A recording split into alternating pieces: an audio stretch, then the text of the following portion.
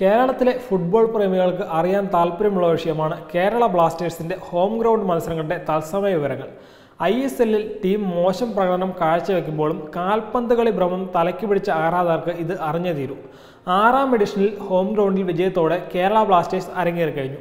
A T കെക്കെതിരെ ഒന്നിനെതിരെ രണ്ട് ഗോളുകൾക്കായിരുന്നു ഒക്ബച്ച നായകനായ ബ്ലാസ്റ്റേഴ്സിന്റെ വിജയം.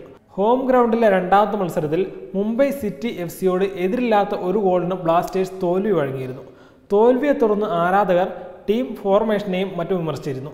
നവംബർ എട്ടിന് വെള്ളിയാഴ്ച നവാഗതരായ ഒഡീഷ എഫ് സിക്കെതിരെയാണ് കേരള ബ്ലാസ്റ്റേഴ്സിന്റെ ഹോം ഗ്രൗണ്ടിലെ മൂന്നാം മത്സരം. ശക്തരായ എഫ് സി ഗോവയെ ഡിസംബർ ഒന്നിന് നടക്കുന്ന ഹോം ഗ്രൗണ്ട് പോരാട്ടത്തിൽ കേരള ബ്ലാസ്റ്റേഴ്സ് നേരിടും. ഡിസംബർ പതിമൂന്നിന് ജംഷഡ്പൂർ എഫ് സിയാണ് കേരളത്തിന്റെ മഞ്ഞപ്പടയുടെ ഹോം ഗ്രൗണ്ട് എതിരാളി. ഡിസംബർ ഇരുപത്തെട്ടിന് നോർത്ത് ഈസ്റ്റ് യുണൈറ്റഡിനെതിരെയാണ് കേരള ബ്ലാസ്റ്റേഴ്സിന്റെ ഈ വർഷത്തെ അവസാന ഹോം ഗ്രൗണ്ട് മത്സരം. ജനുവരി അഞ്ചിന് ഹൈദരാബാദ് എഫ് സിക്കെതിരെയാണ് ബ്ലാസ്റ്റേഴ്സിന്റെ പുതുവർഷത്തിലെ ആദ്യ ഹോം ഗ്രൗണ്ട് പോരാട്ടം. ഫെബ്രുവരി ഒന്നിന് ചെന്നൈയിൻ എഫ് സിയെ ബ്ലാസ്റ്റേഴ്സ് ഹോം ഗ്രൗണ്ടിൽ നേരിടും. ഫെബ്രുവരി പതിനഞ്ചിന് ബംഗളൂരു എഫ് സിക്കെതിരെയാണ് കേരള ബ്ലാസ്റ്റേഴ്സിന്റെ അവസാന ഹോം ഗ്രൗണ്ട് പോരാട്ടം. ഫെബ്രുവരി ഇരുപത്തിമൂന്നിന് ഒഡീഷ എഫ് സിക്കെതിരെയുള്ള എവേ ഗ്രൗണ്ട് പോരാട്ടത്തോടെ ബ്ലാസ്റ്റേഴ്സിന്റെ ആറാം എഡിഷനിലെ മത്സരങ്ങൾക്ക് സമാപനമാകും. രണ്ട് തവണ ഐ എസ് എല്ലിന്റെ ഫൈനൽ വരെ എത്തിയ കേരള ബ്ലാസ്റ്റേഴ്സിന് ഇതുവരെ കിരീടത്തിൽ മുത്തവിടാൻ അവസരം ലഭിച്ചിട്ടില്ല.